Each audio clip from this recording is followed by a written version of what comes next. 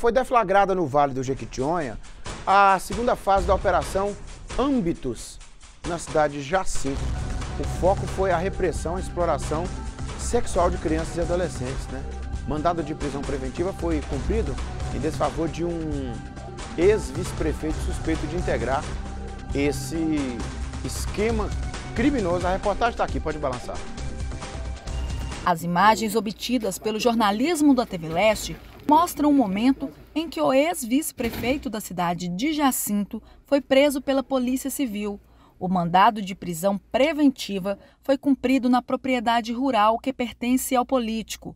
Durante a ação, agentes ainda apreenderam uma arma de fogo sem documentação.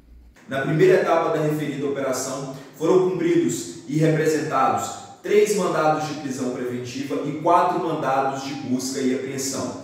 Dentre os presos colocados à disposição da Justiça, dois indivíduos eram vereadores da Câmara Municipal de Jacinto. Com a realização dessa segunda etapa da Operação Âmbitos, a Polícia Civil conclui o inquérito sobre os crimes de cunho sexual envolvendo menores de idade. Ao todo, quatro homens estão presos. Essa operação, que teve início em 23 de março deste ano, foi motivada por denúncias anônimas que levaram os policiais a desmontar o esquema criminoso. Vídeos com conteúdos sexuais gravados com adolescentes eram utilizados pelos políticos para chantagear adversários na disputa por votos durante a última eleição. Também nessa oportunidade, o inquérito que deu ensejo às investigações foi concluído e os quatro investigados foram indiciados por diversos crimes, como favorecimento à prostituição, exploração sexual de crianças e adolescentes, extorsão, corrupção de menores e também divulgação de cenas de sexo contendo crianças e adolescentes. A conclusão deste inquérito reafirma o compromisso da Polícia Civil de Minas Gerais com, com o Vale do Jequitinhonha.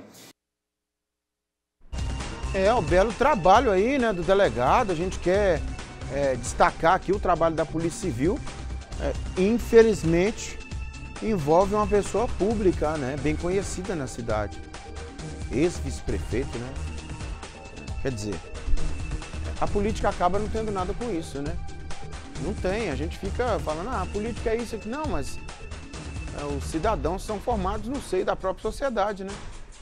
E aí eles vão ocupando várias personas, né? várias áreas de atuação na sociedade, né? inclusive na área política.